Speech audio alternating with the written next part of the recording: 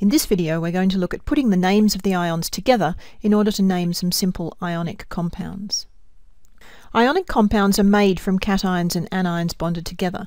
The opposite charges attract and the ions are held together. Usually, though not always, the positive ion is a metal and the negative one is a nonmetal, so you can recognize many ionic compounds from the fact that they're made from a metal and a nonmetal. To name these compounds, the positive ion is always named first and then the negative ion. Let's look at table salt. Uh, this is sodium chloride. It's made of the elements sodium and chlorine. Uh, we name the positive ion first, in this case it's sodium, uh, and then we would name the negative ion next. We would look, we would see that the element is chlorine, but we know that for a negative monatomic ion, the end of the name is changed to ide. So instead of chlorine, we have chloride.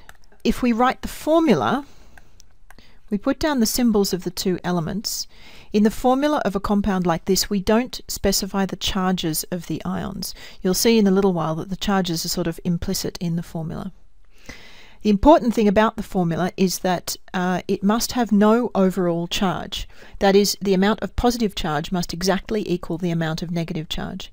We can check this is the case for sodium chloride. The sodium ion has a plus 1 charge and the chloride ion has a minus 1 charge.